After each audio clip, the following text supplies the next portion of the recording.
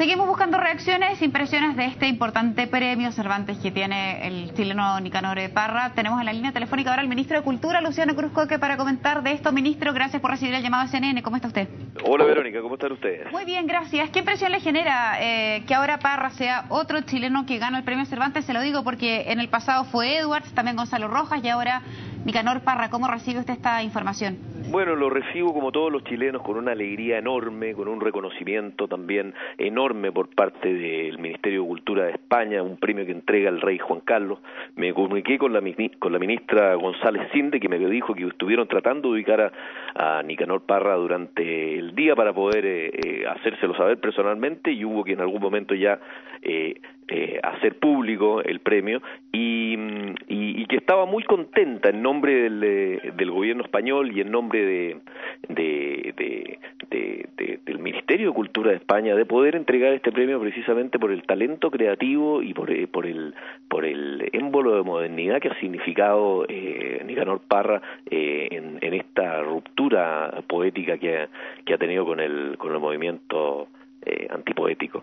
Ministro que respecto a la formalidad, aprovecho que está usted en la línea para que nos comente un poco cuál es el procedimiento que se sigue, eh, porque entiendo que este es un premio que entrega, como usted dice, el rey Juan Carlos, pero que no ocurre ahora mismo, sino que se entrega el próximo año. Hemos visto a través de la televisión en una ceremonia no solamente formal, sino que de gran importancia en Madrid. ¿Cuál es el procedimiento que se sigue ahora para efectos formales con los ministerios de cultura de los respectivos países? Este, este premio se, se da a conocer en esta fecha, pero se entrega el 23 de abril que es justamente la fecha de muerte de Miguel de Cervantes, y lo entrega el mismo rey Juan Carlos. Hay que buscar, hay que ver la, la alternativa de que Nicanor pueda viajar. En general él hace viajes más, más cortos, pero dada la envergadura de este premio, vamos a dar todas las facilidades para poder eh, hacer lo posible para que él vaya y reciba este premio, asunto que sería eh, muy, muy, muy bonito y muy visible además para las letras de nuestro país.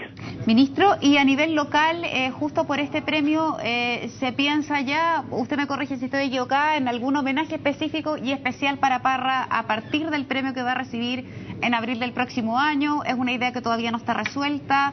Eh, nos, acabamos de enterar, Nicanor Parra acaba de, inaugurar una biblioteca con, su nombre, la, la, Universidad Diego Portales, es una persona que ha recibido innumerables distinciones y estamos también trabajando desde el Consejo Nacional de la Cultura para hacer todas las gestiones para apoyar las candidaturas a los premios más importantes de las letras del mundo, que a los que Nicanor está eh, necesariamente eh, postulado en, en general.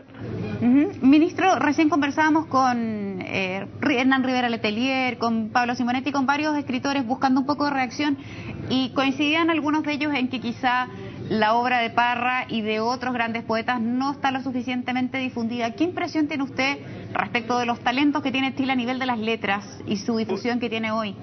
Sí, bueno, tengo una, una impresión bastante parecida. Recuerdo usted que murió hace algún tiempo, bastante poco, Gonzalo Roja, que era una persona que tuvo un reconocimiento eh, enorme afuera. Y nosotros tendemos a, a, tener una cierta desafección eh, tal vez por nuestros artistas, que es un, un, síntoma histórico. Y que sin embargo con este tipo de reconocimientos, con este tipo de distinciones, eh, con la posibilidad hoy día que los medios de comunicación masiva permiten que esto llegue a la gente y no se, y no se concentre solamente en el ITS o en más marginales de la cultura, la gente empieza también a reconocerlo, acerca a la obra, se acerca a sus libros, se acerca a, su, a sus poemas en el caso de, Nicanor y puede también comprender un poco más la espiritualidad eh, chilena a través de nuestras artes. Ministro, le quiero agradecer mucho que haya recibido el llamado de CNN y que tenga un buen día. Gracias. Gracias, hasta luego.